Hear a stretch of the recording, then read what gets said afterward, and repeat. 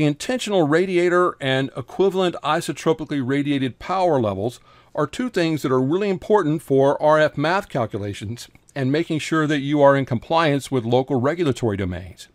In RF math, there are a few terms you really need to understand. The transmitter and receiver are obviously the device that creates the signal and the device that receives the signal, respectively.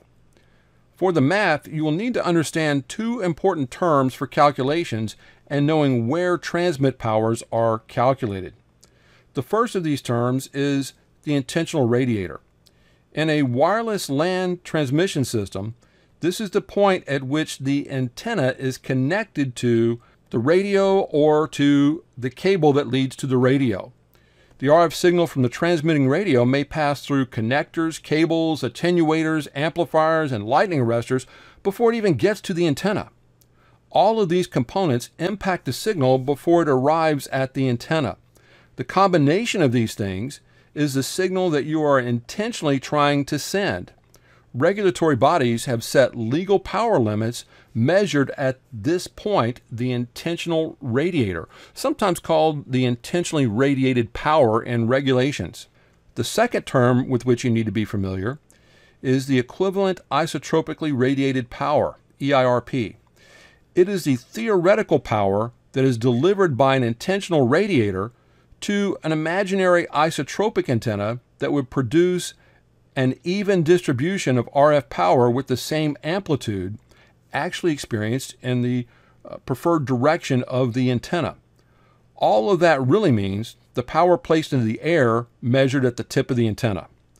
Mathematically, it is the combination of the transmitted signal, all loss introduced by connectors such as pigtails or metal connectors, attenuators, lightning arresters, amplifiers, everything between the transmitter and the lead of the antenna that connects to the cable is the intentional radiator. All of that combined with the gain of the antenna is the equivalent isotropically radiated power. Relative power measurement. Now that we understand intentionally radiated power and equivalent isotropically radiated power, Let's talk about where the power is measured as well as the names of the measurement locations. The first will be taken at the transmitter and is an absolute measure. In this example, it is 100 milliwatts, or the equivalent to 20 decibels measured. The second will be the measurement of loss introduced by the cable and any connectors. Cables and connectors only introduce loss since they increase the amount of wired media the signal must traverse before striking the antenna. The media has some resistance in it, which introduces some loss into the transmission because there's resistance as the electric current goes through the medium.